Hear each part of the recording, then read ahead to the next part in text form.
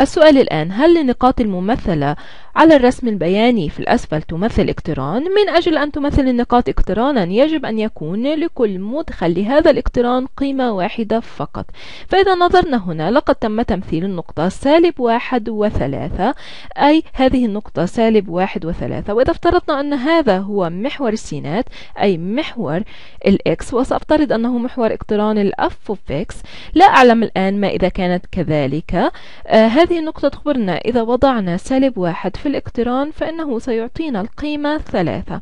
إذا تخبرنا أن ال f ل سالب واحد تساوي ثلاثة. إنه حتى الآن يبدو اقترانا أعطتني سالب واحد يمثل على أنه ثلاثة وبالتالي تكون القيمة مثلا لل x تساوي اثنان هي سالب اثنان. هذه النقطة اثنان وسالب اثنان تمثل اقترانا ثابتا. إذا أعطيتني اثنان فسأقوم بتعيينه مع سالب اثنان. يبدو أن هذا كافيا. دعونا نرى القيمة التالية هنا. هذه النقطة ثلاثة واثنان.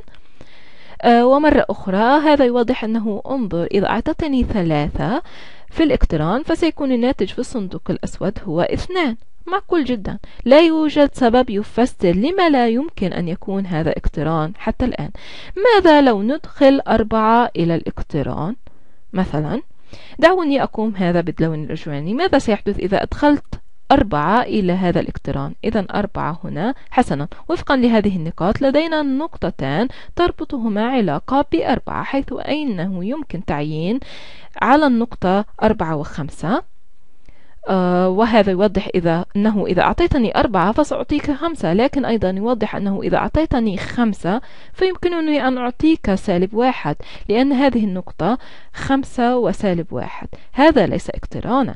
لا يمكن أن يكون اقتران. إذا كانت بعض المدخلات في الاقتران ستعطينا قيمتان مختلفتان. يمكنك أن ترى ذلك بوضوح. وكاختبار بسيط. لهذا فإن هذا لا يعد اقتران. إنه ليس اقتران.